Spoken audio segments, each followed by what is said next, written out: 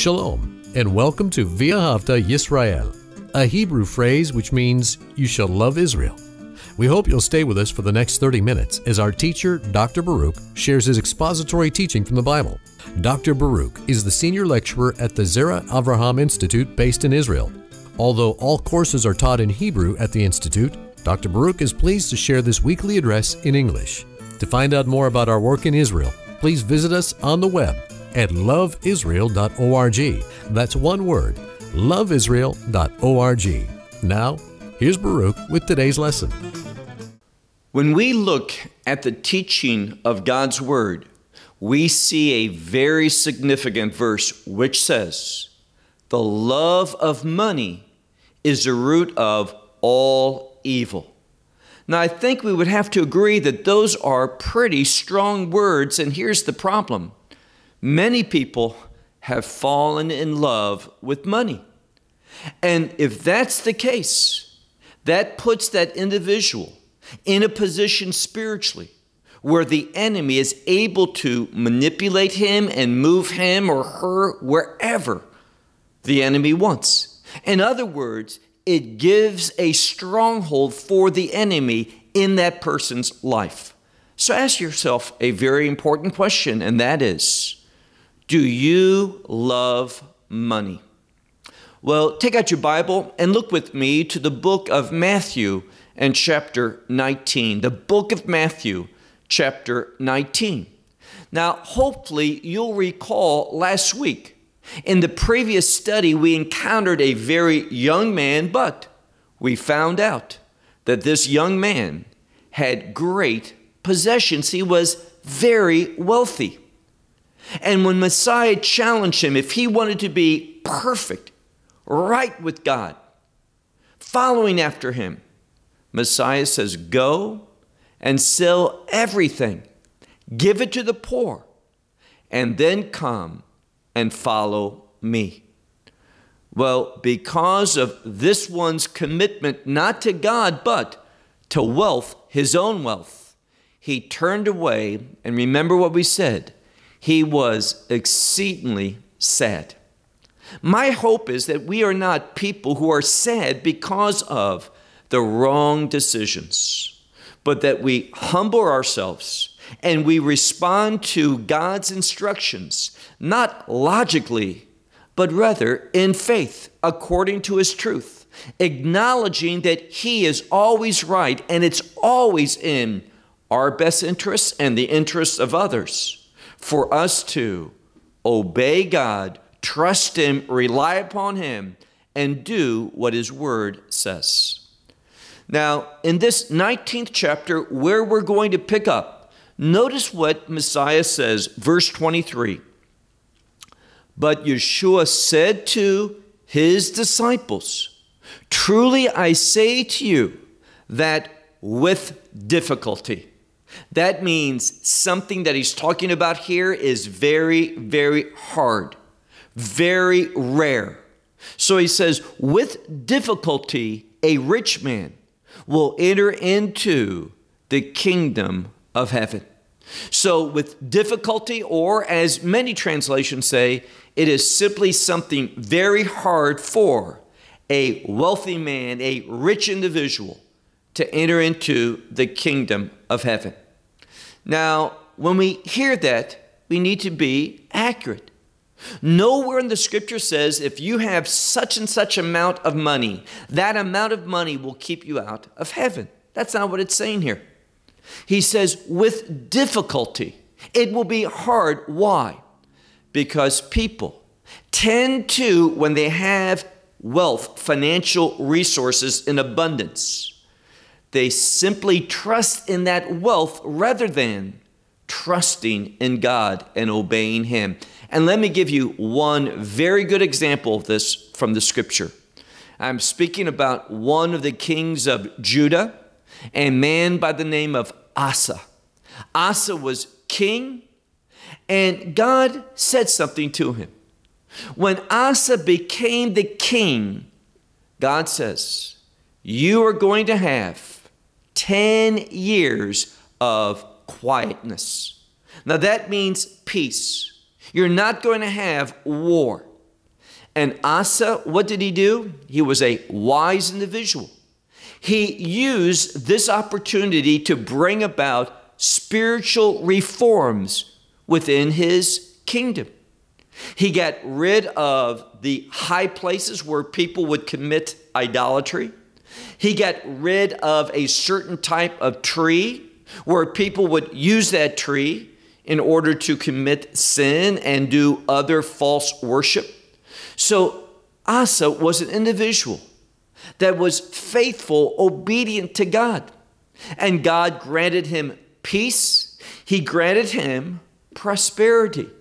These reforms that he utilized, that he instituted, brought about within his kingdom great prosperity. And he used those financial resources in a wise way, and his kingdom grew strong. And later on, when he was attacked, what did he do? He trusted in God. And this obedience, and here's a very important biblical principle his obedience to God brought about spiritual revelation. God sent a prophet to him, and that prophet gave him greater insight, wisdom, identified some problems within his kingdom. And once again, Asa was able to use that in order to strengthen his kingdom. And also, it grew wealthier, more prosperous. There was great prosperity in his days. But here's what happened. Later on, towards the end of his life, he was attacked. He was attacked by a confederacy. Now, remember, at this time, the nation of Israel had a divided monarchy, meaning there was not one kingdom but two. The northern kingdom retained that name Israel, and it was five times larger than the southern kingdom called Judah. Even though King Asa, he was in Jerusalem, that's where his kingdom was based, in the kingdom of Judah. What happened was this the king of Israel wanted to attack. He began to strengthen himself strategically in military, taking key places. And he did something else. He made an alliance with the king of Aram, that is Syria, that was based in Damascus. And this confederacy intimidated King Asa. And you know what he did? instead of turning to God, instead of seeking God in prayer, instead of worshiping God for God to give him insight to know what to do and how to respond, instead of turning to a prophet of God, what did King Asa do? Well, remember, because of his faithfulness, his obedience, his humility, his kingdom was, was prosperous. And the Word of God says, that he went and he took a large sum of money from the king's treasury, his own wealth, and also from the temple treasury. And in essence, he made a bribe to the king of Syria. And that solved his problems, but listen to this it solved his problems in the short term. And if you read carefully in Second Chronicles chapter 14, 15, and 16, you know what? God wanted to give him a greater victory. God wanted to take him and even raise him up higher, but because he trusted in his wealth, utilize his finances to solve the problem rather than relying upon God. Well, he ended very poorly. He did not finish faithfully, and God was very displeased with him. So, wealth can be a blessing if we do not allow that wealth to turn us away from trusting God. And this, unfortunately, is very rare. And that's why Messiah says, look again at our verse, verse 23 Truly I say to you that with difficulty it is hard for a wealthy man to enter into the kingdom of heaven. Again, I say to you, now this word again means I'm going to add to what I've just said. I'm going to provide greater clarity to that statement. That's how it's understood in the original language.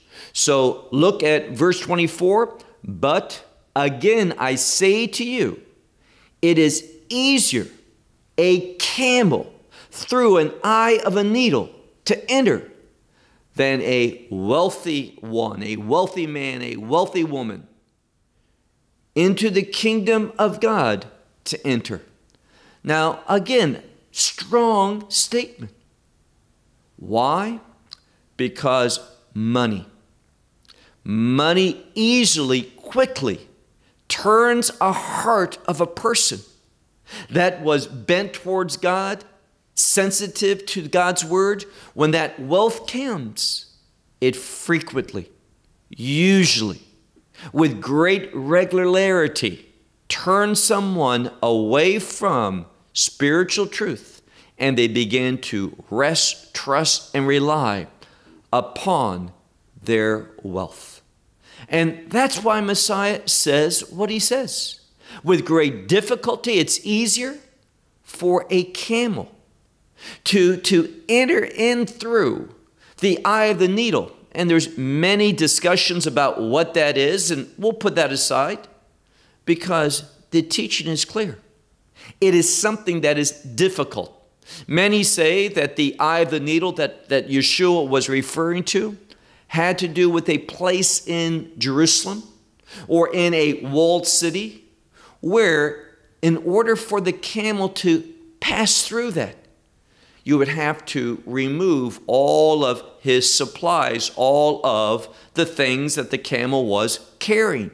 So it's only when you remove all of these supplies or, or, or possessions that you wanted to sell in a city or whatnot, it's only when you are empty, then and then, then and only then, can you enter into the kingdom of God. Why? Because when you're lacking, it, it causes someone to trust more in God. Look now to, to verse 25. But his disciples, after hearing, we read that they were exceedingly astonished. Now, why was that? Because they had believed a false teaching. And what is that teaching?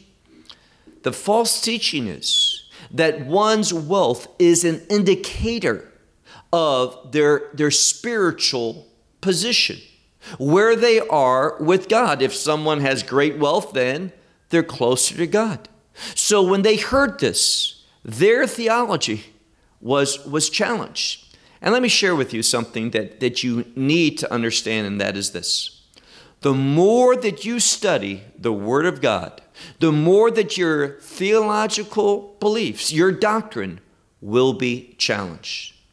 Don't believe simply something because you hear Remember what Paul says yes, faith comes by hearing, but he also says, hearing the word of God. Not necessarily someone, whether it's me or someone else, someone's interpretation. That's why the scripture says, study, study for yourselves in order to show yourselves approved. We are each responsible. And that's why we go through the Word of God slowly verse by verse, word by word. Once more, verse, verse 20, 25. But his disciples, after hearing, were exceedingly astonished, saying, Who therefore is able to be saved? Now, this is a clear indication of what I shared with you because they thought that wealth was somewhat of a sign, an indicator of one's spiritual condition. It is not necessarily an indicator. In fact, we see an emphasis upon the poor, the poor in spirit, that is the humble, and those that, that trust, trust God. Remember that account of that, that poor widow that placed a small amount but because she gave of everything, She gave out of her need what she truly needed to survive, but she gave it nevertheless. Messiah saw this as an act of trust, an act of dependence, and that's why he spoke so favorably to her. Verse 26. After they said what they said, therefore, who is able to be saved? Yeshua, that is Jesus of Nazareth. He looked and said to them, and this is another very well known scripture. He says, With man, this is impossible. What this scripture reveals to us is this for everyone. Did you hear that? For everyone. When, when wealth comes to that person, it is in a natural condition left to that person by themselves alone. That wealth will have a spiritual corrupting influence in their life. Just will. That is for the natural one. But he says here, keep reading because if we stop there, we, we don't have the complete truth of God. He says, with man, meaning man alone by themselves, left to themselves, this is impossible. But with God, with God, all things are possible. And this means that, and I've seen many examples of this, there are numerous people who are with God, that is, in a covenantal relationship with Him. They have a faith, a faith that's founded upon and established by the Word of God. And God blesses them with, with financial resources. With God, they're able to handle, to be a good, a godly steward of those resources and bear testimony in how they manage them of their faith, their commitment to God. So that's why he says, left by yourself, man and man alone, it is, he says literally, this is impossible. But with God, all things are possible. Verse 27 shouldn't surprise us. The disciples, they're asking this question. And who's going to speak? We already know. It's Peter. It's always Peter. He's never lost for words. And notice what he says. Verse 27 Then Peter, he answered, he said to him, Behold, we have left everything and we have followed you. Now, what a statement. He's saying, We have made a decision, these disciples, to leave everything in order to follow after you. And they had made sacrifices. Many were married, had families, and such, and they left that. Now, that doesn't mean that they didn't provide for their families, but they made a great commitment, and their family had to make a sacrifice for them to be one of the 12 disciples. So Peter says, and pay attention to this middle verse 27 Behold, we have left everything and we have followed you. What therefore will be to us? Now, Peter speaking, and he asked this question, and notice the response, verse 28. And Yeshua said to them, not just to Peter, but to all disciples. And let me share with you that this has relevancy for you and me. When we make sacrifices for serving our Lord and Savior, Messiah Yeshua, the Son of God, the Christ. When we make sacrifices in, in serving Him, what does the scripture say in the book of, of Hebrews?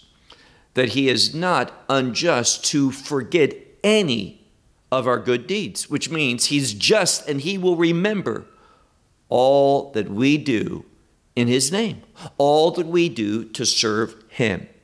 Verse 28 but Yeshua said to them, Truly I say to you that you, the ones that follow after me in the, and pay attention to this word, in the regeneration.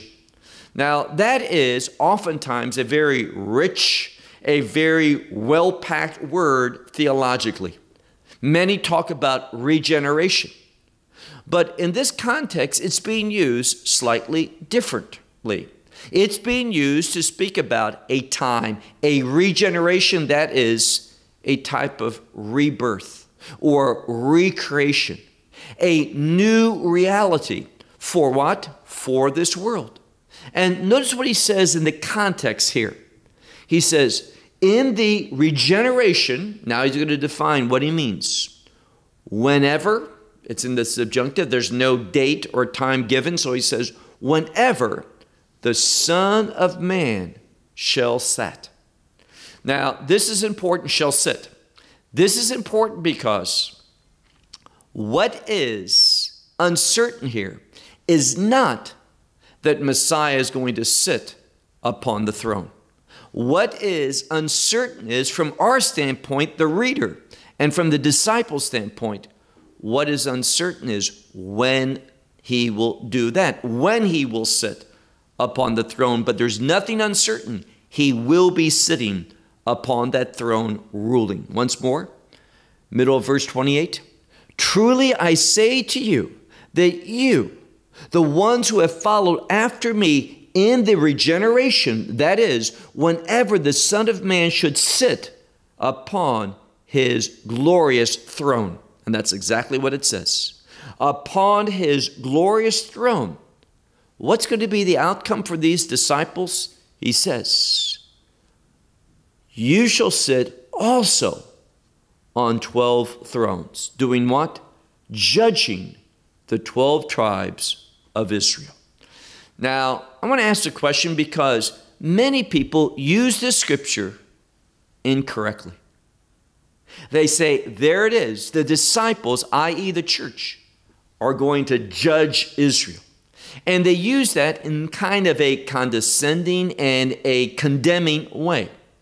But what I would say to such misguided people is this I would ask them, what is the difference between the word that's used here, krino in its basic form, and the word katakrino?